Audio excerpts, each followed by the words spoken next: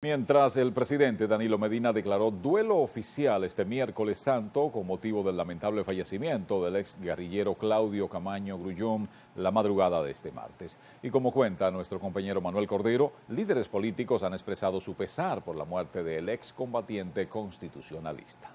La declaratoria del Poder Ejecutivo está consignada en el decreto 137-16 que establece que durante ese día la bandera nacional deberá ondear a media asta en los recintos militares y edificios públicos de todo el país. En su considerando, el decreto presidencial destaca las cualidades de Caamaño como luchador comprometido con la libertad y la soberanía mientras que la candidata presidencial Minuta Vares Mirabal expresó pesar e indignación por las circunstancias en que perdió la vida Claudio Caamaño.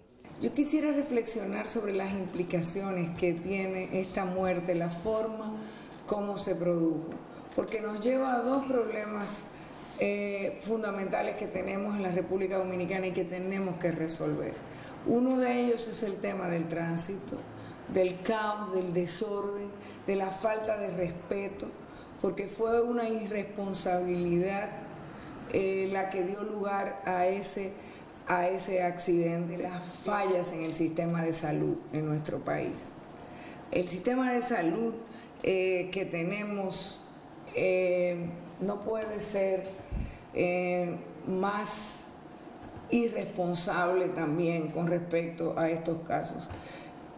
Escuchar que una persona, un héroe nacional como está considerado, como es Claudio Camaño, haya fallecido después de haber, porque no fue atendido a tiempo.